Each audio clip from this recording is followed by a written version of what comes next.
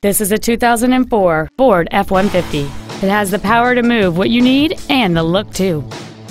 It features a 5.4-liter, eight-cylinder engine and an automatic transmission.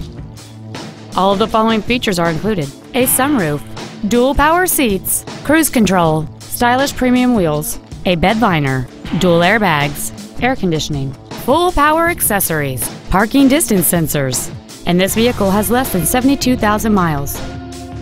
Contact us today to arrange your test drive.